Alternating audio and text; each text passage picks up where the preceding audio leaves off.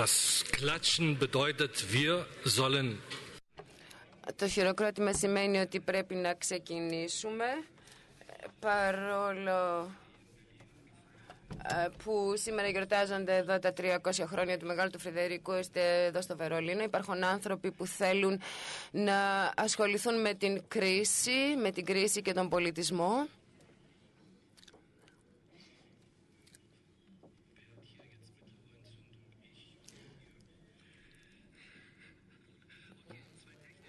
Λοιπόν, δύο τεχνικά ζητήματα στην αρχή. Το πρώτο είναι όποιος χρειάζεται ε, διερμηνία, ε, παρακαλούμε να πάρει τα ακουστικά, γιατί όλα η συζήτηση θα γίνει και στα γερμανικά και στα ελληνικά. Το δεύτερο είναι ότι, όπως μπορέσετε να δείτε και από τα άλλα panels, στην αρχή ε, οι εισηγητές και οι εισηγήτριες ε, κάνουν κάποιες ε, εισηγήσει γενικότερες και μετά έχουμε μία συζήτηση και τότε θα μπορέσετε να κάνετε και εσείς τις ερωτήσεις σας.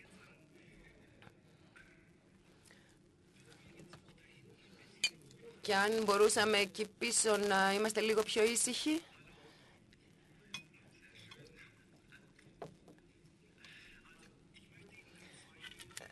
Θα ήθελα λοιπόν να σας δώσω δύο παραδείγματα για το τι σκοπεύουμε να κάνουμε σε αυτό το στρογγυλό τραπέζι. Ε, χτες το βράδυ ε, είχαμε τα εγγένεια μιας έκθεσης στο Heinrich Böll Stiftung με τον τίτλο Alphabet Heimat, Kunde Heimat Wunde του Γιάννη Ψυχοπέδη. Και αν δούμε τώρα τα, τις, τους πίνακες. Θα δούμε ότι υπάρχει μια ε, έντονη ενασχόληση με την ε, νεότερη ιστορία της Ελλάδας, με κοινωνικούς ε, και πολιτικούς αγώνες, καθώς και με τις κυρίαρχες αντιλήψεις στην Ελλάδα. Ως προς το ποιος, ποιος είναι κάποιος, πώς, πώς, πώς θέλει να βλέπει τον εαυτό του, πώς τον βλέπουν οι άλλοι. Ένα δεύτερο παράδειγμα. Ακούσαμε διάφορα αποσπάσματα από το, από το έργο Γιάσου Αΐντα, το οποίο ε, παίζεται τώρα στην ε, όπερα Neukölln, ε, στηρίζεται στην όπερα του Βέρντι και εκεί έχουμε πολύ έντονα το ζήτημα της ενασχόλησης με, το, με την απεικιοκρατία και στην Αιθιοπία. Στο Γιάσου Αΐντα όμως έχουμε ε, μια νέο απεικιοκρατική σχέση μεταξύ της Ευρωπαϊκής ε, Ένωσης ε, και της Τρόικας από τη μία πλευρά και της Ελλάδας από την άλλη πλευρά. Είναι σωστό και είναι politically correct, πολιτικός ορθό, για πολλούς όχι. Αλλά τόσο στην περίπτωση του ψυχοπαίδη όσο και στην περίπτωση του, του έργου Γιάσου Αΐντα ερχόμαστε αντιμέτωποι με, με ζητήματα που, και με ερωτήσεις που αφορούν ε, τον πολιτισμό και το θέατρο σε μια σύγχρονη ε, όψη διότι ο πολιτισμός, το θέατρο ε, δείχνουν μια εναλλακτική πρόσληψη της πραγματικότητας και το ερώτημα είναι Μπορούμε να φανταστούμε και κάτι διαφορετικό; Ο πολιτισμός στην Ελλάδα παίζει ένα τέτοιον ρόλο; Αναρωτήθηκε αν είναι τμήμα ενός, τμήμα, ενός συστήματος ε, που αντιμετωπίζει διάφορα προβλήματα. Είναι η κουλτούρα, εντάσσεται ή μάλλον παραμένει μόνο στα mainstreams ή όλη αυτή η κουλτούρα ή ο πολιτισμός μπορεί να συμβάλλει σε μια νέα ε, αντίληψη για την ε, ελληνική κοινωνία. Αφηγηματικά λοιπόν ε, ποιοι είμαστε, τι θέλουμε. Αυτά τα ερωτήματα είναι που θα συζητηθούν σήμερα εδώ στο στρογγυλό τραπέζι και μάλιστα από τους ε, εξής εισηγητές, από την θεατρολόγο Ελένη Βαροπούλου, κάθεται δεξιά μου και μεταφράστρια, συγγνώμη, αριστερά μου και στα δεξιά μου από την κυρία Μαρία Τοπάλη, πεζογράφο και μεταφράστρια και από τον Αλέξανδρο Ευκλήδης, σκηνοθέτης όπερας και επίσης σε τηλεδιάσκεψη μαζί μας από το Μόνοχο, από τον Πέτρο Μάρκαρη. Δεν ήταν δυνατόν να έρθει στο Βερολίνο, διότι είχε άλλες υποχρεώσεις στο Μόναχο.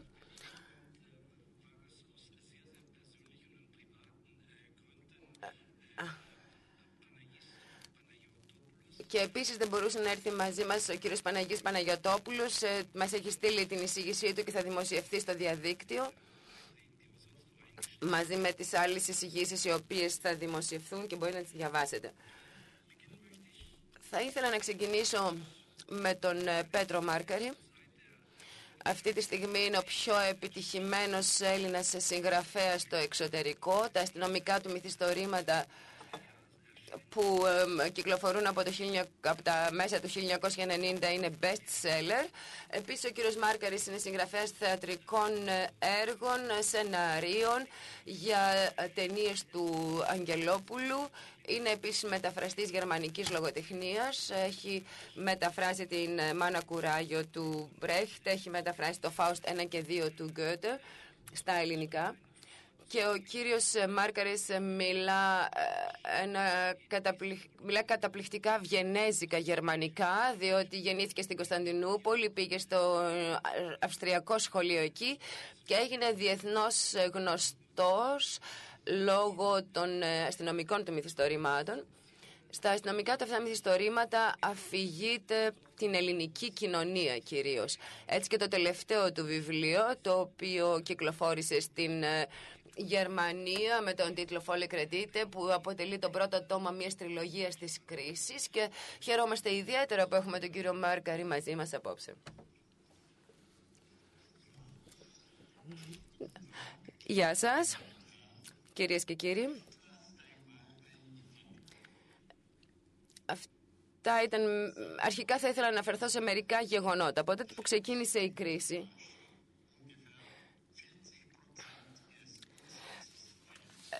ο τομέας του βιβλίου έχασε περίπου το 40% του τζίρου του από την αρχή της κρίσης.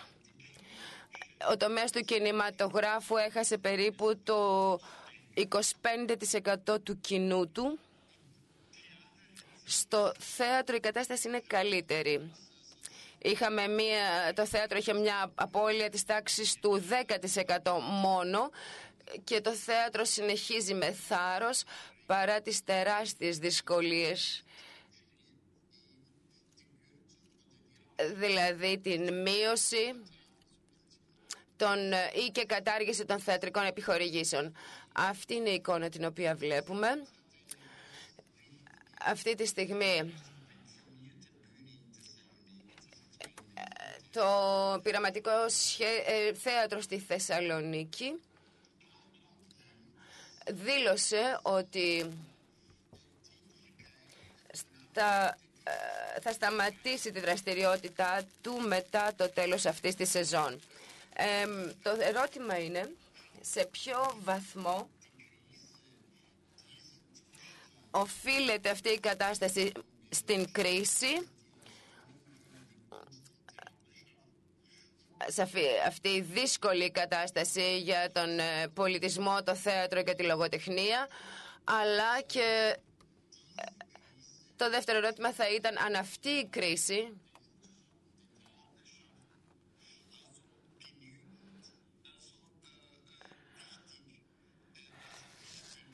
θεωρήθηκε αξιολογήθηκε ως σημαντική και παρατηρήθηκε αποτέλεσμα, ε, ε, αντιμετωπίστηκε δηλαδή ως αντικείμενο ενασχόλησης. Η πρώτη προϋπόθεση που θα έπρεπε να δούμε είναι ότι η λογοτεχνία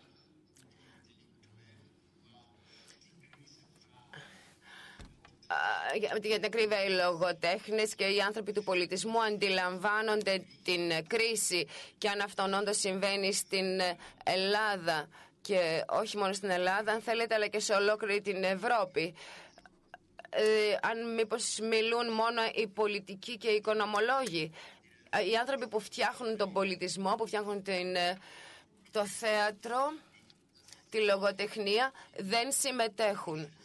Και αυτό δεν αποτελεί ε, ένα κατά κύριο λόγο ελληνικό, αλλά ένα ευρωπαϊκό πρόβλημα. Διότι η κρίση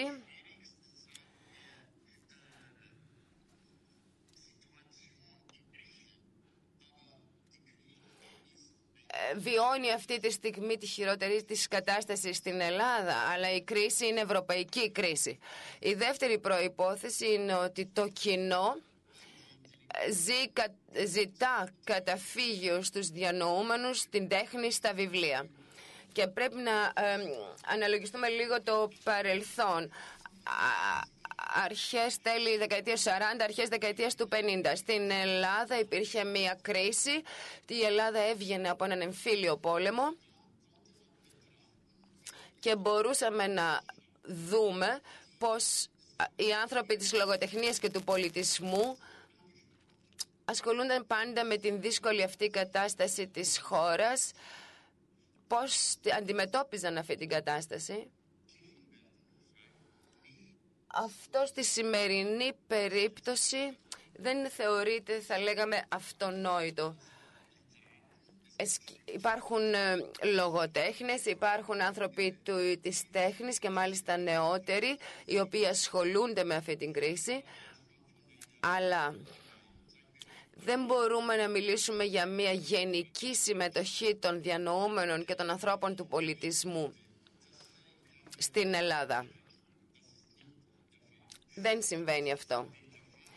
Και επίσης αυτό που δεν συμβαίνει είναι ότι οι Έλληνες να ζητούν ένα καταφύγιο στην τέχνη, στη λογοτεχνία. Με το θέατρο η κατάσταση είναι καλύτερη.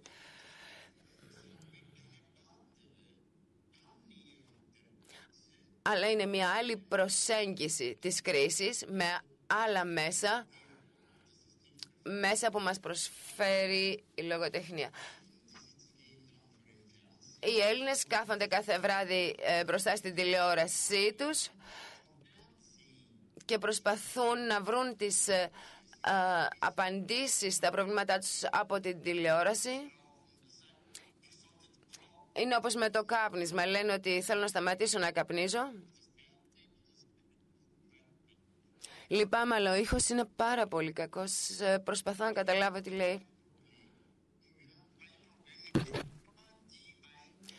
Έχουμε, έχουμε ένα πρόβλημα που έχει να κάνει και με την Ελλάδα. Το, ε, το πρώτο πρόβλημα έχει να κάνει με την αριστερά στην Ελλάδα. Θέλω να τονίσω ότι στην, στην καλύτερη εποχή τους οι αριστεροί όχι μόνο στην Ελλάδα αλλά και στην Ευρώπη λειτουργούσαν ως ένας μηχανισμός ελέγχου. Και αυτός ο μηχανισμός ελέγχου δεν λειτουργεί σήμερα.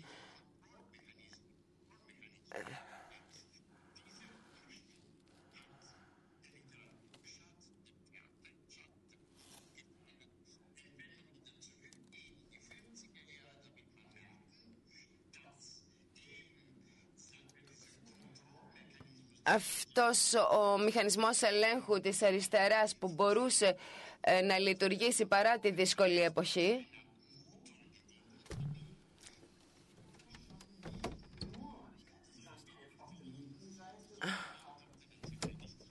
Λυπάμαι, όταν καταλάβω κάτι θα σας το πω.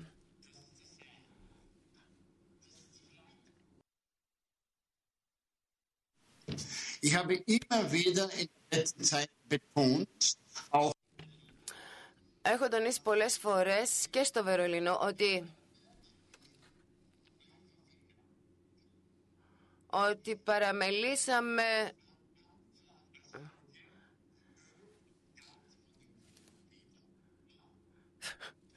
Λυπάμαι πολύ, αλλά δεν μπορώ να καταλάβω τι λέει. Ο ήχος είναι πολύ κακός.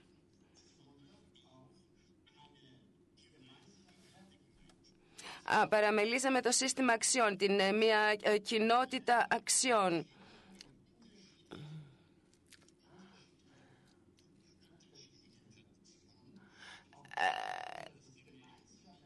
διότι είμαστε χώρες με διαφορετικές παραδόσεις ε, κάτω από μια ε, κοινή σκεπή της, ε, της Ευρωπαϊκής Ένωσης. Αυτό είναι κάτι που λειτουργήσε για ένα διάστημα στην Ελλάδα.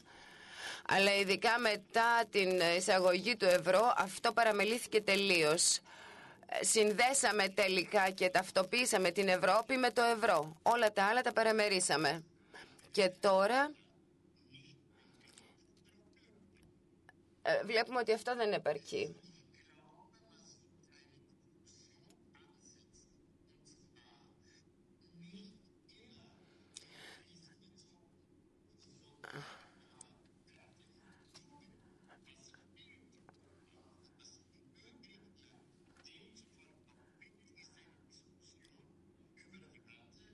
Αυτό που χρειάζεται η Ελλάδα είναι μια συζήτηση για τις αξίες, για τον πολιτισμό και για τη συμμετοχή της των ανθρώπων της τέχνης, της λογοτεχνίας και ε, του πολιτισμού στην διαδικασία ε, που πρέπει ε, να περάσει η Ελλάδα και η Ευρώπη γενικότερα.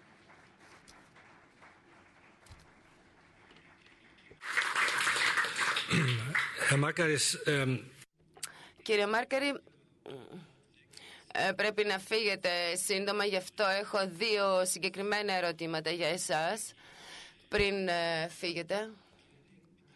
Το ένα ερώτημα έχει σχέση με το καινούριο σας ε, μυθιστόρημα, το οποίο κυκλοφόρησε στην Ελλάδα πριν δύο μήνες. Στη Γερμανία μεταφράζεται αυτή τη στιγμή υπάρχει ένα απόσπασμα κλειδί μέσα σε αυτό το μυθιστόρημα όπου ο αστυνομικός επιθεωρητής Χαρίτος ε, η κεντρική μορφή στα μυθιστορήματα του Πέτρου Μάρκαρη ε, συναντά έναν επιχειρηματία του κατασκευαστικού κλάδου ε, και ο Χαρίτος ήδη έχει, ο μισθός του Χαρίτου έχει μειωθεί κατά ένα τρίτο κατά το 1 τρίτο. Η κόρη του θέλει να μεταναστεύσει, να αφήσει την Ελλάδα. Και αυτό συναντά αυτόν τον ε, εργολάβο, ο οποίος εξηγεί στον ε, Χαρίτο γιατί είναι loser, γιατί είναι αποτυχημένος. Και λέει ο εργολάβος, με κατηγορούν ότι έχω ε, χτίσει παντού παράνομα σε, σε δάση, σε κρατικά οικόπεδα. Δεν διαφωνώ, αλλά έδωσα σε τόσο κόσμο δουλειά. Αγόρασα υλικά, μηχανήματα και αυτοί που αγόρασαν τα σπίτια πήραν δάνεια, οι τράπεζες ε, κέρδισαν από αυτό. Αυτό, αυτό φίλε μου λέει στον ε, Χαρίτο, αυτό ονομάζεται ανάπτυξη. Γιατί δεν μου είπε το κράτος μία φορά ότι όλα αυτά είναι παράνομα; Γιατί όλα αυτά το κράτος τα θεώρησε ανάπτυξη και έκλεινε τα μάτια μπροστά σε αυτό που συνέβαινε. Όταν ε, μπορείς να πεις ότι αυτή η ανάπτυξη είναι fake, είναι πλαστή, αλλά, αλλά αν είναι η ανάπτυξη πλαστή είναι και το κράτος πλαστό. Δηλαδή, με άλλα λόγια, ο εργολάβος αυτός έχει ε, προβεί σε διάφορες παρανομίες και είναι ωστόσο ένα αξιότιμο μέλος αυτής της ε, κοινωνίας και χαρακτηρίζει το χαρίτο αποτυχημένο. Κύριε Μάρκαρη, θα μπορούσατε αυτό να το εφαρμόσετε, να το μεταφέρετε και στην, στον πολιτισμό; Θα λέγατε ότι ο πολιτισμός είναι fake. Όχι, λέει ο Μάρκαρης, δεν θα το έλεγα αυτό. Θα έλεγα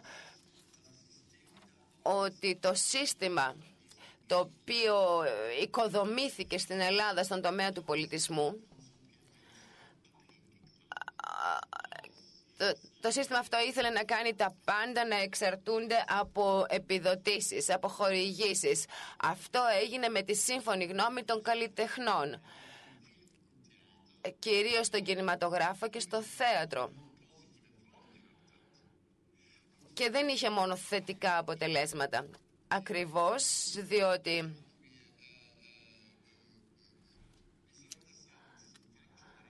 διότι με αυτόν το πλαστό πλούτο στον τομέα του πολιτισμού ε, χρησιμοποιήθηκε με λάθος τρόπο η ίδια η δημιουργικότητα.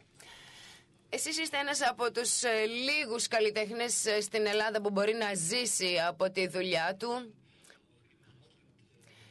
και και, και μάλιστα ε, από τους ελάχιστους που έχουν και τόση επιτυχία στο εξωτερικό. Αλλά ήσασταν όμως στο κέντρο κινηματογράφου της Ελλάδας υπεύθυνος ε, για την επιλογή των ε, ε, ταινιών που θα ενισχυθούν. Ήσασταν στο Εθνικό Κέντρο Βιβλίου.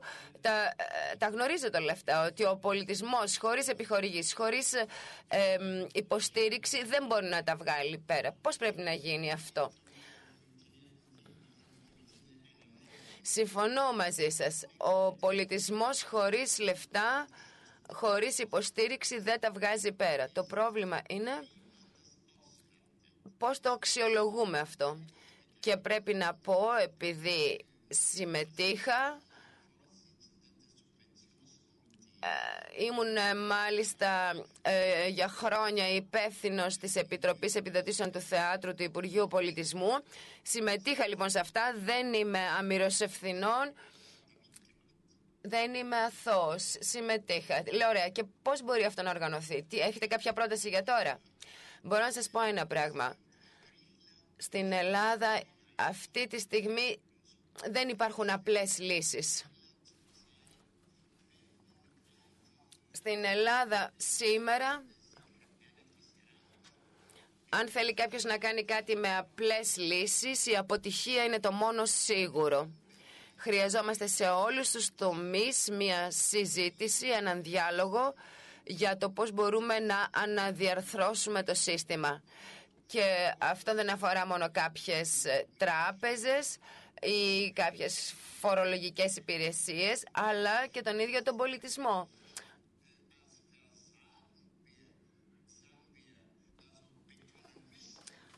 αυτό που πρέπει να τονίσουμε, θα πρέπει να τονίσουμε στην ε, Ελλάδα είναι ότι το σύστημα απέτυχε ικτρά, ολοκληρωτικά. Χρειαζόμαστε νέες ιδέες, νέες συζητήσεις, ανοιχτές συζητήσεις. Για να μπορέσουμε να στοχαστούμε και πάλι ε, τα πάντα εκ νέου. Δεν έχω λύσεις ε, στην ε, έτοιμη στη τσέπη μου, αλλά ε, θα ήμουν διατεθειμένος να συμμετάσχω σε μια τέτοια συζήτηση, διότι πιστεύω ότι χρειαζόμαστε ένα νέο ανοιχτό διάλογο για όλα τα ζητήματα που αφορούν το ελληνικό ολικό σύστημα, από την πολιτική μέχρι τον πολιτισμό. Αυτό λοιπόν κάνουμε και εμείς εδώ. Σας ευχαριστούμε πολύ. Σας χαιρετούμε στο Μόναχο κύριε Μάρκαρη.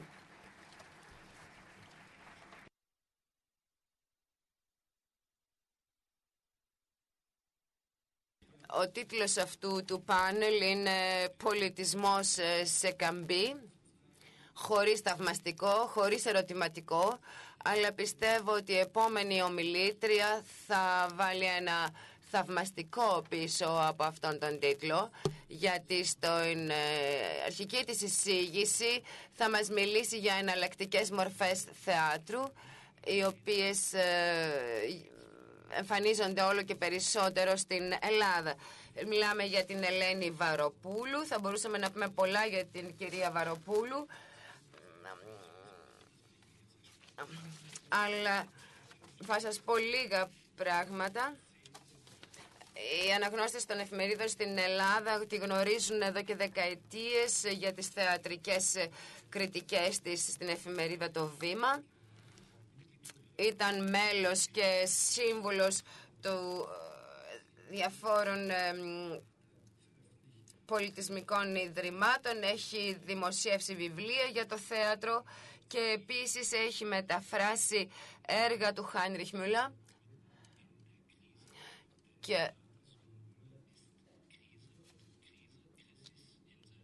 και ο Μούλα μιλά για την κρίση, την κρίση με την αρχική της έννοια, ε, δηλαδή την κρίση της ως αξιολόγηση. Σας ευχαριστώ. Ευχαριστώ τους ε, διοργανωτές ε, για την πρόσκληση και χαίρομαι που έχουμε αυτή τη συνάντηση μεταξύ Ελλήνων και Γερμανών εδώ στο Βερολίνο. Με μεγάλη χαρά συμμετέχω σε αυτήν. Το, το θέμα μου είναι θέατρο, κρίση και κομμουνιτές. Η πραγματικότητα τη, του οικονομικά και πολιτισμικά δικτυωμένου κόσμου μας υποχρεώνει να δούμε τα τεράστια ε, πιστοτικά, πολιτικά και κοινωνικά προβλήματα που ε, συγκλονίζουν σήμερα την ε, Ελλάδα από μια ευρωπαϊκή και αν θέλετε και παγκοσμιοποιημένη προοπτική. Και αυτό σε μια στιγμή όπου πολλές ψευδεστήσεις για το συνεχή αυξανόμενα, συνεχώς αυξανόμενα, αυξανόμενη ευημερία έχουν πλέον, δεν υπάρχουν πλέον. Στην Ευρώπη κλονίζεται το ε, πολλά υποσχόμενο αυτό πρόγραμμα μιας κοινωνίας η οποία θα χαρακτηρίζεται από ένα κοινωνικό κράτος, από οικονομική ανάπτυξη και από υπερεθνικές πολιτικές ε, σχέσεις.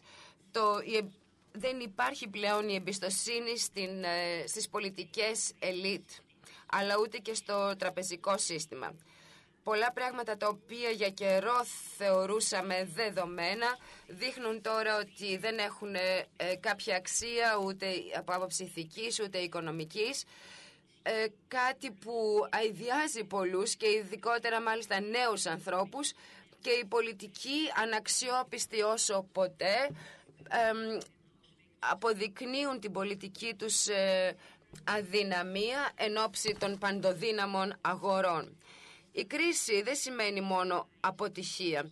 Η κρίση στα ελληνικά σημαίνει επίσης ε, ξεκίνημα, σημαίνει να διαχωρίζεις, να μοιράζεις, να αποχωρίζεις και να διαφοροποιείς. Έτσι μπορούμε να δούμε ότι η κρίση στην Ευρώπη ξυπνά και διάφορες ε, αντιλήψεις που είχαν ξεχαστεί. Για παράδειγμα, ότι η πρόοδος των επιστημόνων και των τεχνολόγων και το έργο ε, αμέτρητων ανθρώπων ήταν αυτά που τελικά ε, έφτιαξαν την ευημερία και την ανάπτυξη. Και αρχίζουμε και σκεφτόμαστε ξανά για την αναγκαιότητα νέων δυνατοτήτων δράσης και σκέψης στην ε, κοινωνική και στην ε, πολιτισμική πραγματικότητα.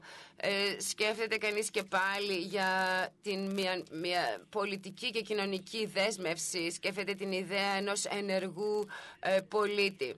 Αυτό που φαίνεται ιδιαίτερα στην Ελλάδα, όπως φαίνεται ιδιαίτερα στην Ελλάδα, η κρίση μπορεί να σημαίνει και την αποκάλυψη της απάτης. Μιας, ε, απάτη που βρίσ, μιας, μια απάτη που βρίσκεται βαθιά μέσα στο σύστημα στο οποίο συμβιώνουμε. Και ας μην ξεχνάμε την γνωστή ρίση, τι σημαίνει τι σημασία έχει η ληστεία μιας τράπεζας μπροστά στην ίδια την ίδρυση της τράπεζας; Αυτή η ρίση του Μπρέχτ είναι κάτι που την θυμάμαι και πάλι καθώς τώρα μεταφράζω ξανά, μεταφράζω μάλλον την, το έργο Μαχαγκόνη του Μπρέχτ και αναρωτιέμαι τι αντίκτυπο θα βρει στην Αθήνα η ελληνική του μετάφραση. Και ενώ κλονίζεται η εμπιστοσύνη στο είδος της κοινωνίας μας, υπάρχουν πολιτικές κοινότητες παντού ε, που βρίσκονται σε ένα σημείο ε, καινούριο ξεκινήματος και και ενώ ο πολιτισμός βρίσκεται σε ένα σημείο καμπής. Σε πολλούς ε, τόπους ε, συγκροτούνται κοινότητες που αντιδρούν στην ε, αποτυχία των κοινωνικών θεσμών. Στην ε, Αθήνα δημιουργήθηκε μια τέτοια κοινότητα, η ονομαζόμενη Ατενίστας, οι οποίοι ξεκίνησαν από μια μικρή πρωτοβουλία και σήμερα έχουν χιλιάδες άτομα στο, στον κύκλο τους. Τι κάνουν συμμαζεύουν στην ουσία, αν θέλετε, εγκατελειμμένες περιοχές, πρασινίζουν παραμελημένες πλατείες, ομορφαίνουν τους τείχους. Σε, πολλές σε πολλά πολιτικά κινήματα στην Ευρώπη υπάρχει μια τάση για έναν καρναβαλισμό, μια θεατρικότητα, κάτι που ε, θυμάμαι ακόμη από τη δική μου γενιά στη δεκαετία του 60 όταν το φλούξους, η καταστασιακότητα, τα αντιπολεμικά κινήματα και η κριτική της ε, καταναλωτικής κοινωνίας αναμειγνύονταν με το θέατρο, τα happenings, τα performance. Αυτό που ε, κινητοποιεί αυτές τις αυθόρμητες κοινότητες και που δίνει ε, κίνηση σε μια ε, κουλτούρα της αντίδρασης μοιάζει για μένα να είναι ένα κενό στο σύστημα που ονομάζεται κοινωνία. Συγχρόνως απειλεί από διάφορες πλευρές ο κίνδυνος μιας υπονόμευσης του, του, του δημοκρατικού συντάγματος. Και γνωρίζουμε καλά από τον Ηρόδοτο ότι και η ολιγαρχία μπορεί να ακολουθήσει την, τυραννίδα, ε, την τυραννία. Η δημοκρατική κοινωνία δεν λειτουργεί μόνο με οικονομικούς υπολογισμούς και νομική λογική. Χρειάζεται μια εσωτερική συνοχή. Είτε αυτή την ονομάσουμε μια κοινότητα ή κοινωνία αξιών, είτε αδελφότητα, είτε αλληλεγγύη. Και όλα αυτά έχουν να κάνουν με πολιτισμό. Η κρίση συνοδεύεται από την αντίληψη ότι μόνο η κατανάλωση μας ε, ε, εμπόδισε να επιβάλλουμε μια νέα κοινωνικότητα, μια διαφορετική κοινωνικότητα ή και να τη σκεφτούμε. Και αυτό πιστεύω ότι είναι η πιο βαθιά όθηση ε, των συνθημάτων που λέει γίνετε ενεργοί, διαμαρτυρηθείτε, δεσμευτείτε για κάτι. Αυτή η άλλη κοινωνικότητα είναι ακτιβιστική και είναι και ενεργή στην πράξη και είναι ουτοπική όσον αφορά τα ιδανικά της. Δεν είναι κάτι που είναι αδιάφορο. Επειδή, στην πολιτική, ε, επειδή οι πολιτικές και κοινωνικές ητοπίες δεν ήταν ε, της μόδας για πολλά χρόνια. Στην Ελλάδα οι μεγάλες συγκεντρώσεις και διαδηλώσεις του 2010 δείχνουν οι, επίσης και οι ε, επεμβάσεις και οι καταλήψεις των θεάτρων δείχνουν μια διαμαρτυρία, μια όλο και αυξανόμενη κουλτούρα της διαμαρτυρίας. Άνθρωποι του θεάτρου, για παράδειγμα, κατέλαβαν το στις 11 του 2011 στην Αθήνα ένα θέατρο, το θέατρο Έμπρος, και ε, κάνανε εκδηλώσεις επί εβδομάδες με ένα δικό τους πρόγραμμα, με performances, με συζητήσεις με το κοινό, με πολιτική και σε συζητήσεις. Το, το θέατρο το θέατρο είναι ένα εργαστήριο κοινωνικής ε, φαντασίας. Το θέατρο έχει σχέση με την επικοινωνία και είναι επικοινωνία, είναι κοινωνικοποίηση. Η τελετουργική θεωρία ήδη περιέγραψε ότι σε πολλές ε,